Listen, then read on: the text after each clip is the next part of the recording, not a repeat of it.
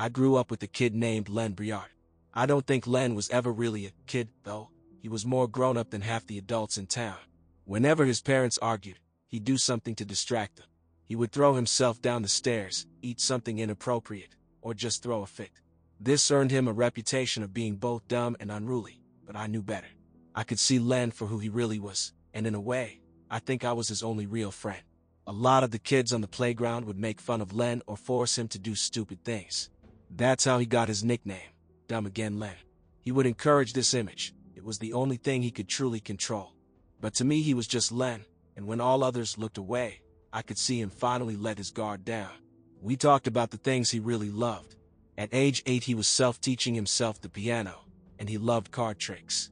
He was clever and amazing at sleight of hand. Not too surprising, seeing as he tricked the entire world into thinking he was an idiot. When it was just the two of us, we'd play card games. All kinds of card games. Everything from blackjack to go fish. Sometimes two-player spades. Len didn't have just any deck of cards.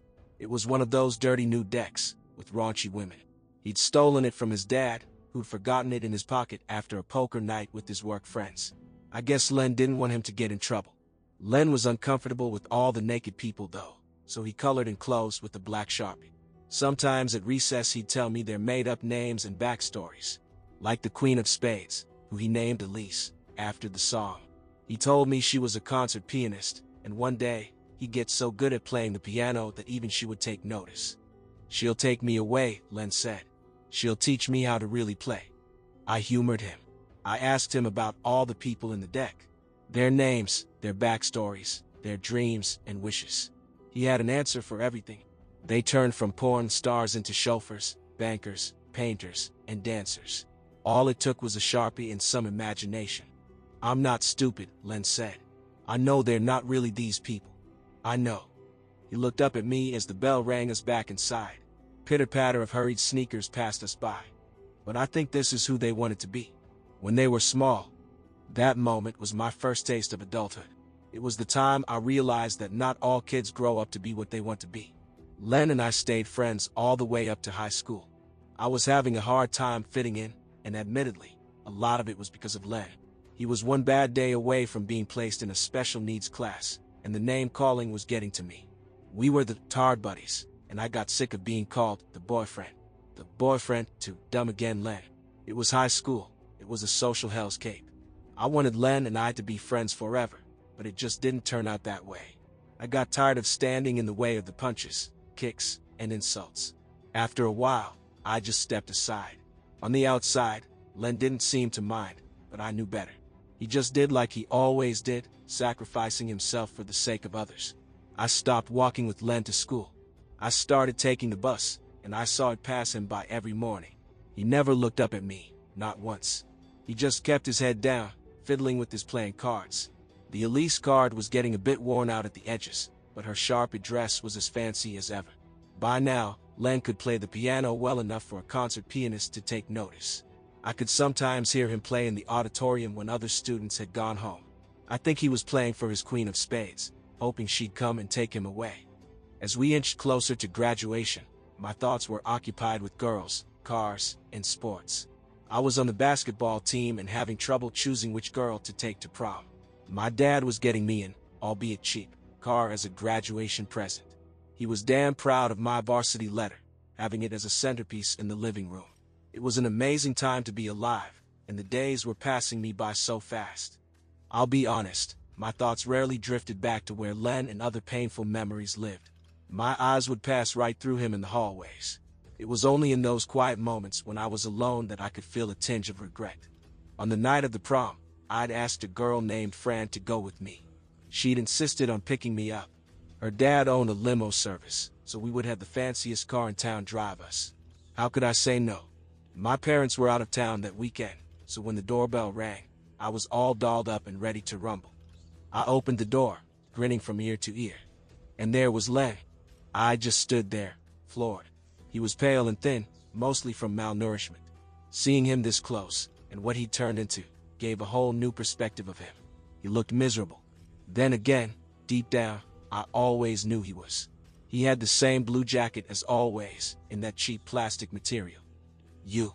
You okay, Len? I asked. Yeah, he said. Can I come in? Sure, I nodded. Come in. He stepped inside and wiped his shoes.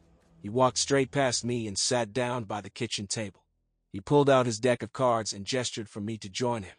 My date will be here any minute, I said. I don't think Dash. You've never turned down a game before, chuckled Len. Is this gonna be the first? We both smiled. He didn't seem angry, and I had no reason to be either. In a way, it was nice to see him again.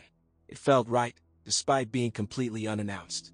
We'd started our childhoods together, now we'd end them. He set up the table for a round of spades. It could take hours to play, so I raised my hand in protest. Len just shook his head. Just one round, he said. Winner takes it all. No bids? No bids. Just get as many tricks as you can. Sure. He set the cards down and we started drawing. One by one, we drew and discarded our way through the entire deck. I drew the final deck of the card, the Queen of Spades herself, Elise. I had a hard time imagining her without the sharpie dress by now. What are you going to do after this? Len asked. I mean, after tonight. College, I said. Sports medicine. You got in? Minnesota. Go Huskies, I guess. Nah. Len won the trick with the king of hearts against my six. What about you? I'm done, said Len. After this, I'm... I'm just done. Come on, man, I smiled. You got talent. Make it count. His clubs of eight beat my two. Nah. We played down to the final trick. By now I knew there was nothing more than spades left. I'd kept the queen for last. If he had an ace, or a king, I'd be screwed. I hope you have a good one, said Len. Not just tonight, you know. Thanks, man. You too. He put down the jack of spades. I held up Elise. Len just leaned back and clapped. She'll come around someday, he smiled. Just not today. That's rough, I nodded. Good game. Something honked outside. It was time to go. Len shuffled his cards and followed me out. We hugged each other for the first time in years. We'll play again, right? Of course. Fran waved at me from the back window. I stepped into a limo, and Len stepped away into the night.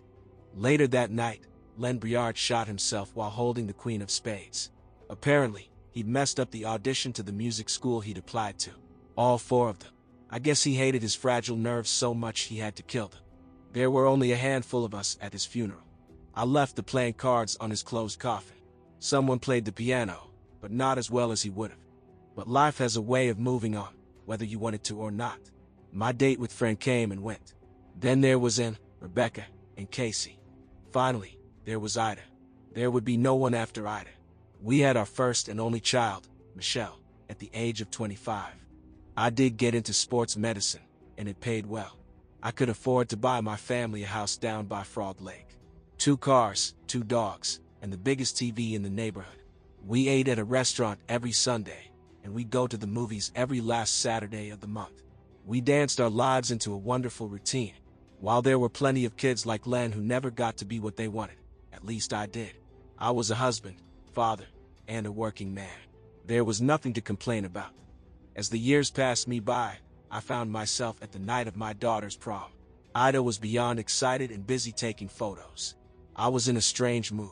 Ida was having drinks with her friends later that evening, and I was going to drown my nostalgia in a few shots of whiskey. As I waved goodbye to Michelle and her date, I decided to take a walk. Ida humored me, despite never having seen me take a walk like that on my own. She figured I was just being emotional. In a way, I was. I took a walk down by the lake. There was an old chessboard set up there, years ago, that no one played it anymore. The pieces had long since been thrown into the lake, but the board itself was fine. The chairs too. I sat down, listening to the croaking frogs. Early summer smells brought up memories and feelings I'd hoped to forget. Moments later, the seat across from me was occupied. I would recognize that cheap blue jacket anywhere. A few stubborn strands of hair clung to patches of leathery skin a dry mouth pulled back in a skeleton grin, shielding a black tongue. There were no eyes, and a bullet hole in the side of his temple. His movements were forced, like a puppet pulled by an unknown force.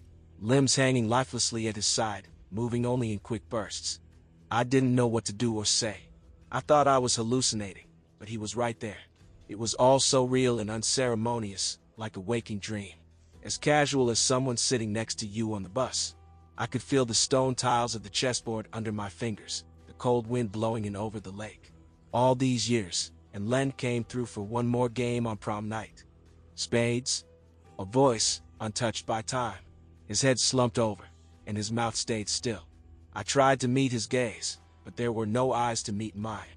I caught myself staring, losing track of time. Why, yeah, I agreed. Sure. One round, he said.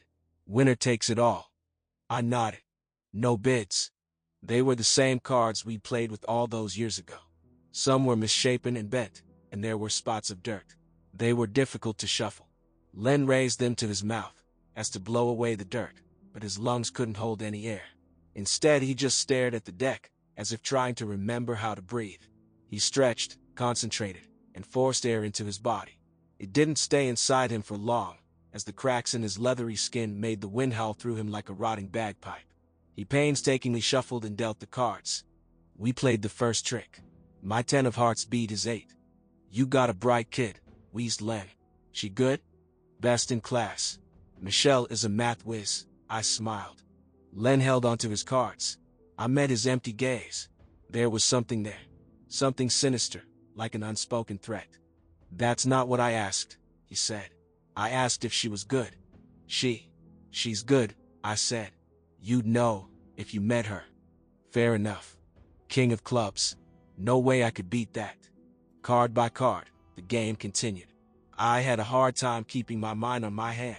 Len was taking plenty of time choosing which card to play, and his broken fingers kept fumbling with the cards. It was hard to tell if he was just being deliberate or working against his decaying fingers. Frog Lake had gone quiet, and the birds had long since fled. Why did you do it, Len? I asked, playing a nine of hearts. I lost, he said. The queen went with you. That doesn't mean you had to. Go. It did. I had always hoped Len would find peace. Instead, it seemed like he was stuck in the past, wearing the same tattered clothes and the same tattered face. Maybe no God or afterlife came to collect him. Maybe some people fall so far out of the collective mind that even death forgets about them. It was an even round until it came down to the final trick. I had no idea what Len had, but I knew neither of us had played the Queen of Spades yet. I played my final and highest card, the Jack of Spades. The Queen might have been discarded when we first picked our cards, but I had my doubts. Something about Len was different. There was a smile there, somewhere beneath the rot. Of course, he played the Queen of Spades. Elise, the love of his life, finally came to him. Winner takes it all, he croaked. Good game. Well played, Len, I said. You earned that win. Finally, he chuckled. I get to be what I wanted. It was as if a force pulled him up from the chair, like a bone-snapping puppet. Old sinew and tissue crumbled as he moved. A trickle of dust rolled out of his sockets, like tears from a grave. Finally, his skin dried up, his lips pushed back. In the blink of an eye, he decayed in front of me, spreading his dust in the wind. Specks of lens scattered all over Frog Lake, leaving nothing behind. His cards danced away in the wind, scattered along the lakeside. I walked back home and sat down by the dining room table, shaking like a leaf. I poured myself a shot of whiskey, spilling over the counter. Ida was still out with her friends, leaving me alone in that big, empty house.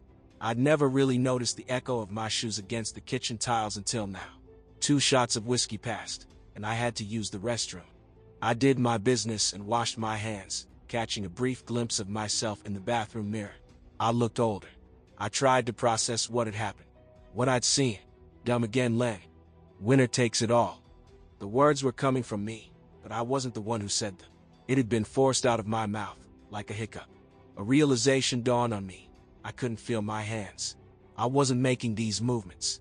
I wasn't the one saying these words. I saw my mirror image twist and turn, growing older. My wrinkles grew deeper, my skin hardened. Second by second, I could see my life melt away, turning my image to that of my dead friend. Hollow eyes, crackling skin, patches of hair falling out. I get to be what I always wanted. Looking down at my hands, I saw that nothing had really changed. The face in the mirror was my own. But in a way, it was different. A thin veneer, hiding a rotten core. I could feel Len hiding just beneath the surface of my face, itching to get out. I felt my hands dig something out of my pocket, my keychain. My legs were moving. I was out of control, and I couldn't even speak out in protest. The same invisible threads that had pulled Len along were now pulling at me, leaving me defenseless. My body stepped into the closet, reaching for a lockbox on the top shelf. Such a small key to hide such a dangerous weapon. I checked my phone, loaded a clip, and saw my fingers scroll past name after name of friends, family, and acquaintances. Smiling faces and nicknames. All the while, I was screaming inside.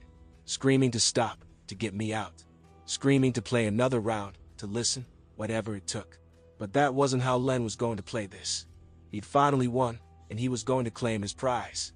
As I heard the front door open, I felt my soul descend into a deep, primal panic. A hole in my mind where nothing but terror existed. Dumb again Len was going to take it all away from me. One bullet at a time. Then, the front door opened, and I felt my body smile.